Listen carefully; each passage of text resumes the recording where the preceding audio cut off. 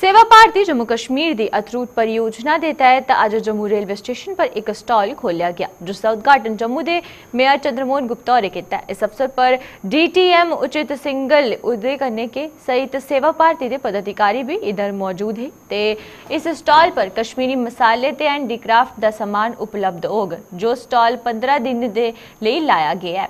इस अवसर पर मेयर चंद्रमोहन गुप्ता और सेवा भारती के इस कार्य की प्रशंसा भी की उन्हें गलाया जो भविख च भी इस तरीके के स्टाल कटरा उधमपुर ते घाटी के रेलवे स्टेशन च खोले जांगन ते तुसी जिस दे चलते जो सेवा भारती के अथरूट परियोजना जगटी च कश्मीरी विस्थापित महिलाएँ के लिए ए सेल्फ हेल्प ग्रुप बनना रोज़गार का ज़रिया बना करता है।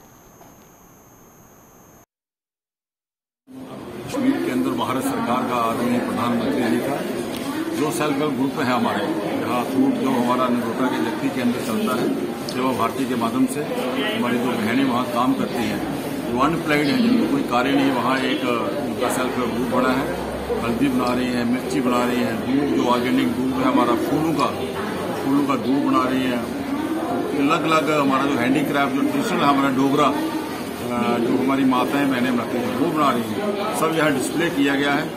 यहाँ पे जो रजिस्ट्रेशन है इनका इन, इनके द्वारा बड़ा इनको प्रोत्साहन दिया जा रहा है।